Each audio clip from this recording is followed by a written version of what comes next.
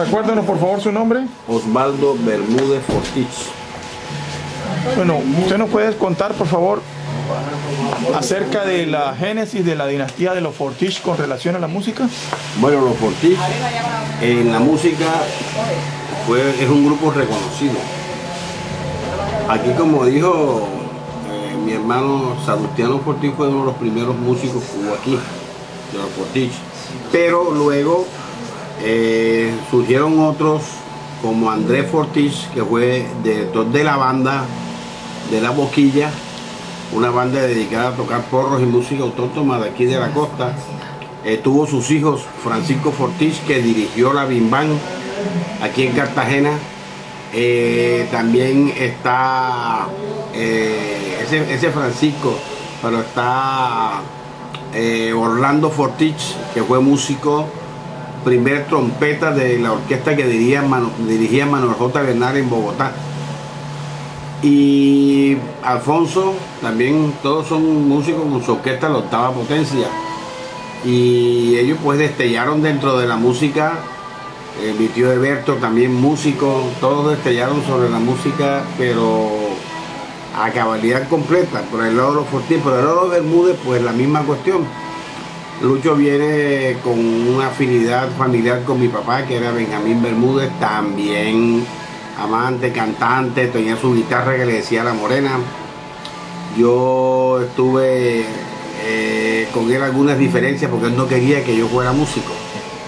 Al fin y al cabo, pues logré, logré convencerlo que sí podía. Él me decía, el músico le gusta mucho el ron, yo quiero que tú estudies. Yo pues, Estudié dos carreras en la universidad, fui 28 años profesor de la universidad, me pensioné allá y tuve muchos grupos aquí. Le di mucha oportunidad porque yo dirigía los programas de aficionados. Ahí estuvo Tomás Martínez, Hugo Grandete, yo Arroyo, yo Hurtado, Cenelia Alcázar. Todos pasaron por mis manos. Tomás Martínez, Henry Castro, Gabriel Mercado. Todo ese personal estuvo como aficionado y yo era el que dirigía esos programas. Fundamos aquí un sindicato, se llamó Arcitecar, Asociación de Artistas de Cine, Radio y Televisión de Cartagena.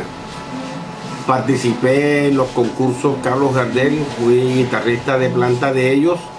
Con ellos eh, tuve pues la satisfacción que nos ganamos el trofeo Carlos Gardel, que fue a nivel nacional, lo ganó Humberto, eh, Roberto Garraquilla, quien se apodaba Pepa Agudelo el Che Ortiz y el Che Zambrano de los otros dos compañeros. Ganamos en una final muy reñida, pero quedó aquí en Cartagena el trofeo Carlos Gardel. De Lucho, pues, Lucho Bermúdez comenzó su música muy ligado a la familia Fuentes, Antonio Fuentes. Estando ahí hizo su primera orquesta que se llamó Calamarí de esa orquesta Calamarí estuvo tocando mucho tiempo, tocaba saxofón, luego se dedicó al clarinete y con eso pues viajó, consiguió a Bobby Ruiz en San Andrés, lo trajo como cantante y, lógicamente Matilde Díaz que fue su descubrimiento excelente, una gran cantante. Eh, sube eh, la mamá de Lucho enviudó y entonces nació otro otro hermano, pero ya este era Álvarez Acosta, el era Bermúdez Acosta. Álvarez Acosta es el papá de una cantidad de músicos famosos, muy buen músico, dirigió como bonito. Entre eso está Currucuteando, Wilson, que es el porro musical con más escala que yo he conocido. Es con Ropaín, ¿no? Con Ropaín, con Ramón, Ropaín. Exacto, con Ramón Ropaín. él fue director artístico de esa orquesta Luego sus hijos fundaron la Orquesta Barbacoa, que pues le dio, y todavía está funcionando esa orquesta con Juancho, Alfonsito, y ese grupo. Con el maestro Álvarez tuve la satisfacción de tocar con él saxofón, pero me traicionó el corazón y tuve que abandonar el saxofón. Luego me dediqué al piano y el piano, lógicamente, en ese tiempo eran pianos de madera, entonces para que un piano eso para una fiesta era muy difícil. Entonces me dediqué a los instrumentos de cuerda y, con los instrumentos de cuerda pues me ha ido muy bien. Tuve un trío que se llamó Los Señores con Hernando Barrio y Papi Cortés. de Nando Barrio, que fue pues, un gran músico y un gran cantante. Nando, Barrio, de Barranquilla. Sí, murió en Barranquilla, era familiar de nosotros, hijo de mi tía Aura. Eh, después tuve con, con Moré, Johnny Moré, el Piragüero Moré también tuvo un trío que se llamó Los Caporales. Y con Felipe Semberman hicimos el trío Los Reales. Y después hicimos el trío Los Académicos, que nos tocó en Bogotá competir con los vivos por los Kids de Plata Phil. Una está muy buena, estaba Jimmy Salcedo de aquel lado, estaba Víctor Gutiérrez, pues entonces ya nosotros éramos dos guitarristas y un par de malas. y con eso nos enfrentamos y siempre sacamos el segundo lugar. Esa vez Cenelia también, Cenelia estuvo con Julio Cerama compitiendo y también ocupó el segundo lugar Cenelia casa. Y aquí en Cartagena, pues ahora últimamente hicimos un conjunto muy popular que se llamó Los Mandarinos. Sacamos los viejos que están de los viejos que están de moda, son como fruta madura, se caen solitos del palo y no tienen conchadura. Mandarino, mandarino, ahí deja de enamorar. Procura cuidar el billete, porque te van a pelar. Y con este disquito salió ese conjunto. Luego hicimos los papillos, y pues tuvo también bastante renombre. Cuando ya se dividieron, lo dividimos, entonces yo hice el, quinteto imperial con el que actualmente estoy tocando y con el que he tenido bastante satisfacción. También tuvo un dueto con Carlos Tinoco, conocido popularmente como Rosso, Bertino. Con ese hicimos unas grabaciones que tuvieron bastante éxito, bastante éxito las grabaciones con el dueto Bertino. Y aquí en Cartagena, pues, estamos tocando pues, en todos los sitios. Todos los sitios que nos llaman, nos llaman mucho. Estamos entre un restaurante, en los hoteles y tocamos bastante. Sigue nativo, bueno. Maestro, una preguntita. ¿Usted conoció a Gustavo Fortich del dueto Fortich y Valencia? Oí de ellos, no llegué a conocerlos. Oí de ellos, que eran. Eh, ¿Cómo diré? ¿Pero no perteneció a la dinastía de ustedes? De Gustavo Fortich, sí, de, él oímos bastante en la familia, de Gustavo Fortich. Eh, no lo conocí, pero sí hubo la referencia, Fernán Fortich también, Humberto Fortich también. Todos eran cantantes y cantantes buenos. Eh, Fernán Fortich se casó con Carmen González, llamada Nubia González, que trabajaba con el maestro Ropay. Era cantante del maestro Ropay, era la esposa de mi tío de mi tío, él era un gran cantante, Fernando Carol, que es ingeniero, la pianista, Carol ya murió. Es que parece que la, mi mamá, pues mi mamá fue una cantante de otro mundo, mi mamá emérita eh, hasta el último momento. Yo siento un año, pero, ¿Cómo se llamaba? Emérita Fortich Anaya. ¿Y ella con quién cantó? ¿Con qué? No, ella cantaba, cantaba, se presentaba en los programas y y cantaba y ganaba muchos premios. el otro día la vi cantando, para Caracas. Ah, bueno, los pelos. Cuando los discos esos, eh, para Caracas, para Caracas se fueron los peloteros. y en ellos se destaca la gloria y el orgullo de ser cartagenero. Carlos Petaca, Judas Araújo, también Chita Miranda.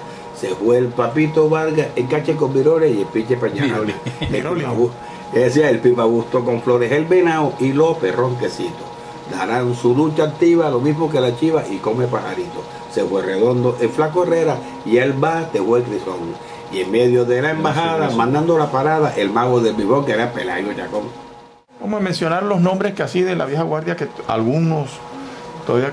¿Quiénes eran? Bueno, está Edulfo Polo, que él tocaba bombardino. Después se dedicó a la trompeta y hacía unos solos de trompeta geniales que nadie lo podía imitar. Está el Tibiri, Antonio, el maestro Villanueva, su hijo Isaac, el saxofonista Montesino, Miguel Acaro, Alfonso Álvarez, los hermanos Montero, trompeta eran los dos, trompeta y saxofón, muy buenos trompetistas. Y pues todos esos músicos de esa época, después salió Pacho Fortich, eh, tenía con Toño su combo, tenían los trompetistas. Cuando Toño hizo el combo, me dijo, regálame un cantante. Yo dirigía los programas aficionados. Le dije, coge ese muchacho que está allá. No, porque tiene la, mandíbula torcida. Era Hugo Alandete, digo, pero se le entiende clarito. no dejé que cogiera yo, aunque yo apreciaba mucho yo que también iba a los programas, porque yo a veces que, se enredaba en las letras y entonces no se le entendía lo que decía. Pero cogió a Hugo Alandete y con el Tibiri, Montesino, él con la guitarra, Puerto Rico con las timbaletas, en medio con las congas, hizo Toño su combo. Y lo estrenó, lo estrenó en el templete municipal, donde hoy día están los caballos. Ahí jugaba la Lotería Bolívar. Yo tenía un contacto con la Lotería Bolívar con su gerente y, jefe de, eventos y entonces lo presenté. Ahí fue la primera presentación que hicieron ellos. Y luego Toño pues surgió y se fue lejísimo. Toño fue una de las agrupaciones más cotizadas aquí y más y más. Oye, ¿y qué es de Andresito Ramos, conguero? Ya ese no, no, no, creo que exista ya. No. No. Creo que Andresito no, Que tocó con Lucho Bermúdez la conga. Claro, claro, e-, ellos tocaron, fueron músicos percusionistas. De esa generación ya casi no queda nadie. Ya casi no queda gente. El, último que había. ¿Y Lalo Orozco? Lalo vive, Lalo vive. Lalo vive, casualmente lo estoy contactando para que toquen Viernes Santo ah, de profesionales. Los invito si quieren que sea Viernes Santo, van a tocar con los violines de de los demás Orozco, ¿no? Está Doña Teresa. De otra dinastía también. exacto, otra dinastía, los Orozco. Viejo Ramón. Los Orozco, viejo Ramón. Este escrito se lo hice yo el día del homenaje, decía Luis Eduardo Bermúdez Acosta. Hoy en esta noche el Comité Cultural del Barrio de Crespo y el Club de Profesionales, representado por el doctor Carlos Ramírez y Roberto Amor Buendía, rinden homenaje al maestro Luis Eduardo Bermúdez Acosta, quien cumplió la sagrada misión de ser feliz y hacer feliz a los demás a través de notas musicales y letras con sentido poético que ensalzaban las fibras más profundas de nuestro sentimiento y el alma, porque si no se notaba que un día no salía el sol, lo dibujaba para que la vida brillara. Realizaba letras acompañadas de notas musicales que se convertían en sentimiento y ternura. Su mente actuaba como el agua cuando está calmada y en paz reflejando la belleza del mundo y cuando se agitaba ponía el ritmo que movía todo el cuerpo humano. Se entregó a la música y vivió para ella.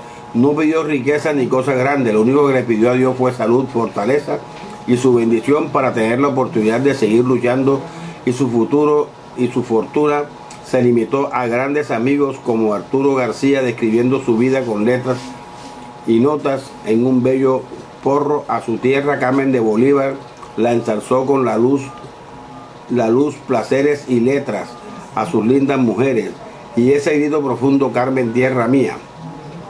A sus grandes amigos se les brindó Caprichitos, Salsipuedes, Marbella, Doble Cero, Fantasía Tropical, San Fernando, Roberto Ruiz, el Gran Chepe, Bureche, con los que obtuvo la fortuna más grande de la vida, los amigos. Con Matilde Díaz y Bobby Ruiz transmitió un lenguaje de sus exquisitas letras con prosodia y semánticas inigualables. Con Colombia Tierra Querida demostró el amor a su patria por su letra y música. Así nació el himno popular de Colombia. Cuando formó la Orquesta Caribe fue un maestro en saxofón alto. Luego con el clarinete fue sensacional, dejando con alta clase el porro operático, plantando una sempilla musical que se convertía en una planta de sentimiento y amor. Grabó un disco Fuentes dando a conocer la Orquesta Caribe. Viajó a la Argentina donde nació Lucho Bermúdez y su orquesta con, y con Pacho Galán compitió por la supremacía musical entre el porro y el merengue, luego entre el, chiquillá y el patacumbia.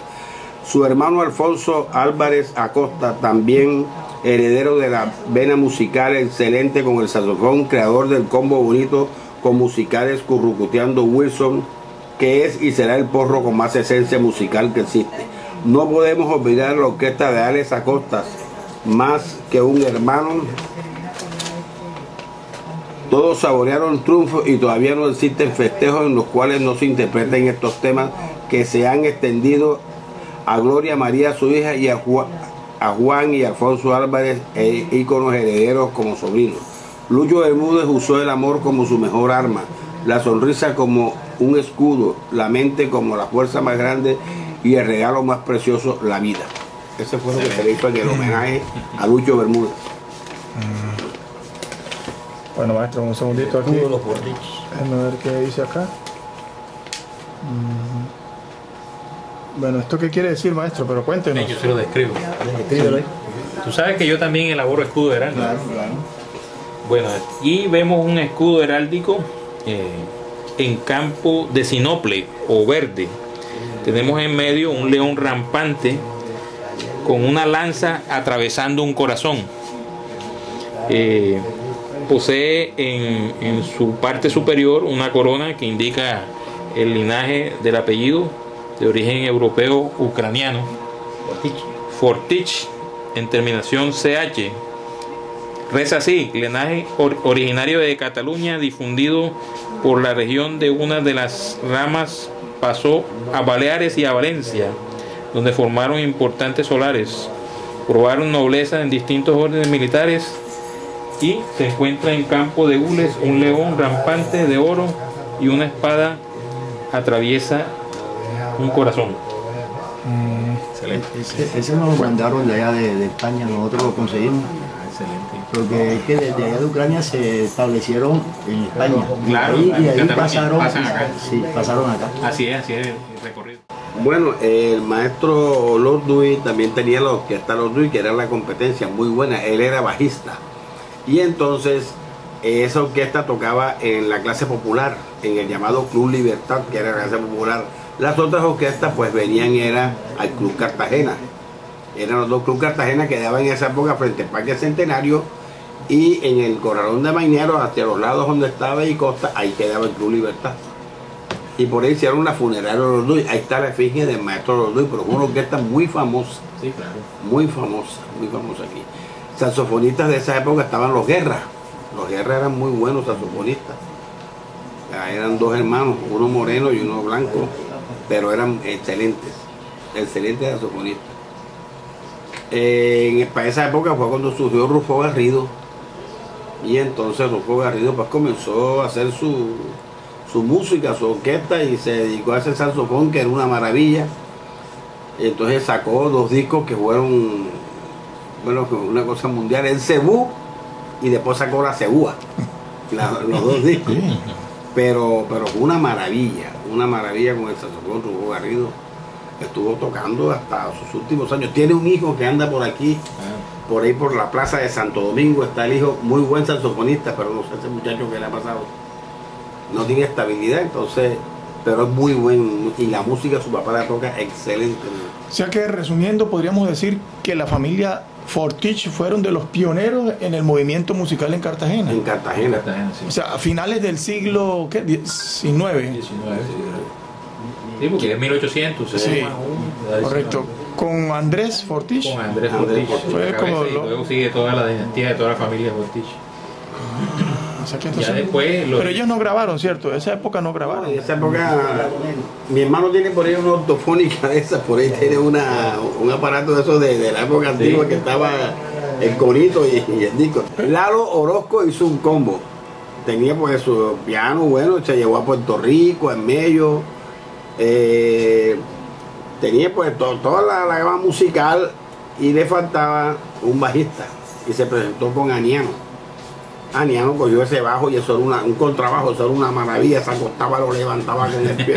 eso era una maravilla. El día del baile, creo que fue los 15 años de Alicita Sain, que fue después señorita Bolívar, estando tocando, comenzó Aniano a hacer, y pensamos que era pues después de Happy Birthday, tocamos ese disco. Yo conozco a Claudia, yo conozco a Claudia, yo con y él ese movimiento, y de pronto cayó abajo y le dio un ataque, epiléptico y no se tomó la pastilla.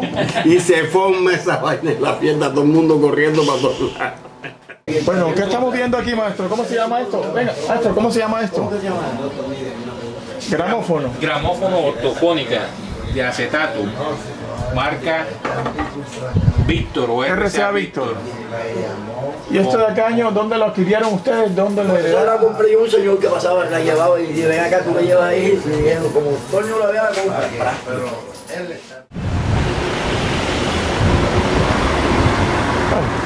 Listo, pues.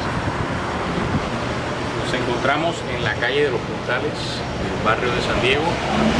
Aquí, la casa del maestro Adolfo Mejía Navarro, en donde vivió por muchos años.